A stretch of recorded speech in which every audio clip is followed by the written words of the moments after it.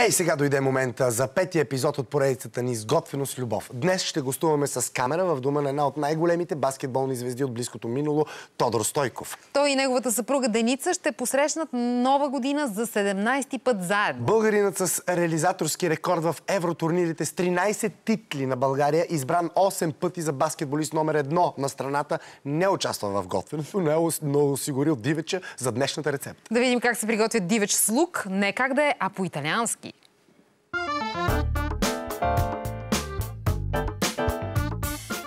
Нашата вкусна поредица с готвено с любов ще завърши в дома на Тодор Стойков и неговата съпруга Деница. Едно може да се каже преобладаващо спортно семейство и ще приготвим нещо вкусно, което няма да е бързо, но е много празнично. Да. Подходящо за новогодишната трапеза. Деница, ще ни кажеш ли на какво сме се спряли? Спряли сме се на дивеч с сини сливи в гювеч. Това е една моя любима рецепта и на моите приятели също. Много им харесва. Надявам се и на вас да ви хареса. Но много така съм я поизчистила през моята призма. Разбрах, че Тодоре, ти си отговорен за провизиите, за дивечовото месо. Когато има сука, аз от както спрях така да играя професионално, станах ловец, така млад овец съм на 5-6 години и моята съпруга... Ще така, го приготви. Съпр... Да, опитва се да прави изключително вкусни неща и най-хубавото от цялото това нещо е, че както и аз, така и децата харесваме дивеча, което е също така много полезен. Деница, ти си главният отговорник в кухнята, във вашето да. семейство. Всички се плашат от дивеч. Ти с какво самочувствие почна да го готвиш и казват, че е много успешно? Не, аз го готвя само с любов, не за самочувствие. Обаче ми се получава. И оценката е, когато го сервирам и приятелите опитат и първият момент е най-важен. значи Страхотно. Продуктите са, това е месото от Лопатар. Лопатар, точно така. Сини сливи, много голямо количество лук, нарязан на ситно, на тънко, кой както предпочита. Аз предпочитам на полумесец и на тънко. Гювеча, червен пипер и мазнина. Не изглежда много претенциозно и най-вече ти каза, че не си го киснала преди това в марината. Не, не съм го киснала и въпреки всичко ще стане много крехко и много вкусно. Коя беше коледата подред, която посрещнахте преди няколко дни? Заедно? Ми, ние сме доста време заедно. 17-та коледа от 2000-та година сме заедно с а, моята съпруга. 2009 година направихме сватба така, че Резултат две деца. Да, да, които, си, да, които сега не присъстват, защото и те ще искат да помагат в кухнята и ще бъде доста трудно. А пък все пак аз трябва да готвя и затова... Включваш ли се, помагаш ли с Не, не, това кръга на шиката. Това ме е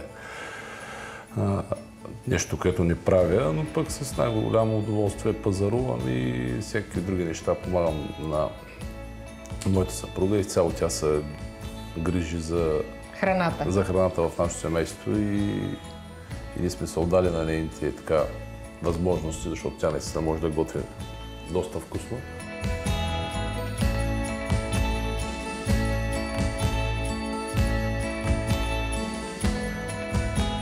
Ти тази рецепта я знаеш от някой, казана ти е или сама си я намерила и си търсила? Тази рецепта я прочетох в една италианска книга обаче беше много по-по друг начин. И аз с течение на моето приготвяне на времето изчистих някои неща и това е вече последния вариант, моя вариант, който винаги аз приготвям. Тошко, коя е твоята любима рецепта? Какво обичаш да я хапваш? По принцип, като бях по-малък, имах много претенции, но сега с времето както заедно с Аморето, почна ям много неща по-различни. И дивеч, и риба, и агнешко. Но като любимо ястие мое от годините на спорт, преди 15 години, винаги съм казвал и ми останал тогава, че кашкал пане ми е любимото ястие. Любимото. Правиш ли го? Това е единственото нещо, което не приготвям. Кашкавал-пане. И за мен Просто е защото като много отидем сложно. някъде Той и той като се чуди какво да яде, си поръчва кашкавал-пане и не може вкъщи също да е кашкавал-пане. Тук трябва да разнообразиме. Още малко да карамелизираме лука, да умекне хубаво. Месото е почти готово и го подреждаме и го мятаме. Слагаме червено пиперче при лука. Солта я слагаш после. Солта я слагам после, да, когато редиме върху месото. Има ли сте период, в който сте живяли в Италия и в Испания? Това казват, че са световно признати, много добри кухни. Там пленирите нещо. В Италия всичко ме плени. От кухнята до хората, до обстановката, където сме живяли, толкова топло бяхме приети от всички, защото там комуникирахме само с италианци. Нещо, което за първи път ядох, като бях там, тук не го бях яла преди това, беше ньоки с манатарки. Наистина се влюбих, научих се да ги правя, някой път ще го поканя на италианска На кухня. това. Сега вземаме месото Върху лука. върху лука. Обичате ли традициите? Коледа, Великден, тези празници са свързани много строги в кулинарно отношение и в ритуално. Да, аз лично много ги обичам, а моето и той ще каже. Много се приготвяме за всички празници и трапезата е според празника приготвена и украсата в къщи е според празника.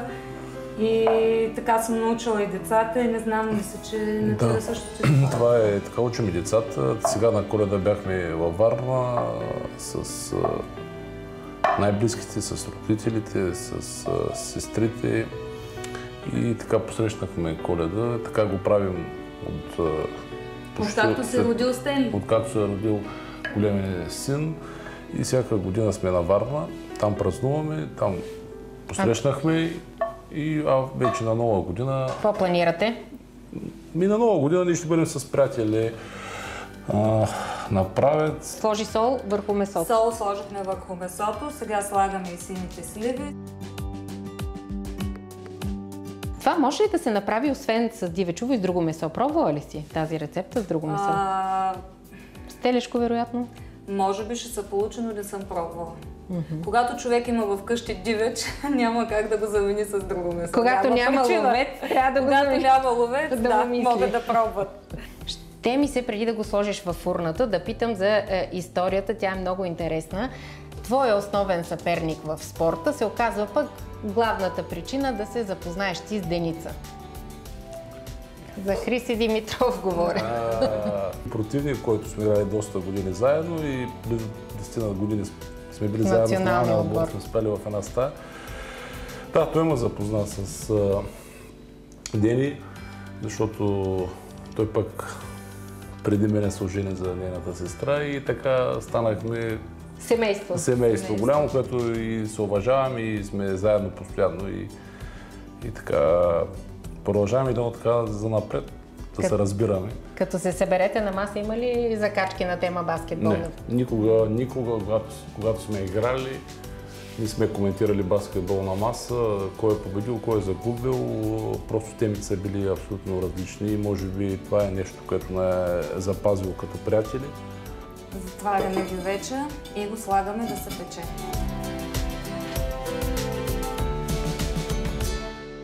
Три часа на 180 градуса. Сега, понеже ще се наложи да изчакаме 3 часа да стане готово, нека да пием по едно кафе. На кой се падна паричката на коледа?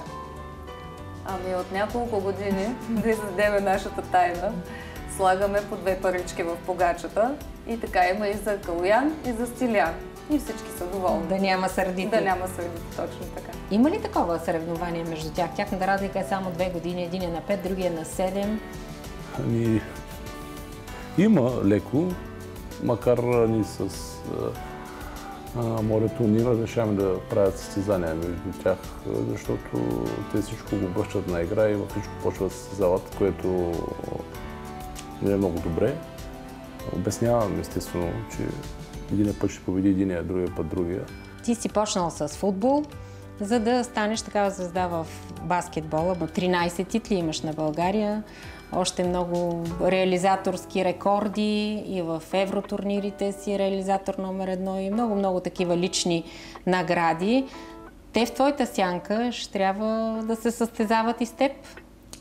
И за това аз не мога да кажа, че те да ги натискам да стават спортисти. Нямам такива болни амбиции като родител. За мен е важно те да бъдат добре възпитани, да, да са добри хора, точно така. Да имат е. образование. Човешките ценности са на първо място. А пък ако имат възможност да станат спортисти... Ще е добре. Ти си спортен директор на Лукойл Академик, отбора в който игра до преди няколко години. Как се промени живота ти след като спря с спорта и мина от другата страна? И когато си на игрището едно, трябва да спазваш е, някакви правила като спортист, да бъдеш професионалист. Сега като директор е Друго? Абсолютно различно. Така, тръпката по мачовете се запазва. Ние също ходим и подкрепяме отбора. отбора, да, и аз и децата, и то с желание. И това си беше и като беше състезател. Сега като директор по същия начин. Това пак е нашия отбор и пак се го подкрепяме. Благодаря, че ни показахте част от вашата трапеза и много хубави новогодишни вече празници и какво да си пожелаем за 2018. За 2018 година на първо място да си пожелаем да сме здрави, да имаме много късмет, да е една много успешна година и да не чакаме само празниците да си казваме колко се обичаме и да бъдем добри. Нека това да бъде през цялата година. Успешна и щастлива нова година на всички българи!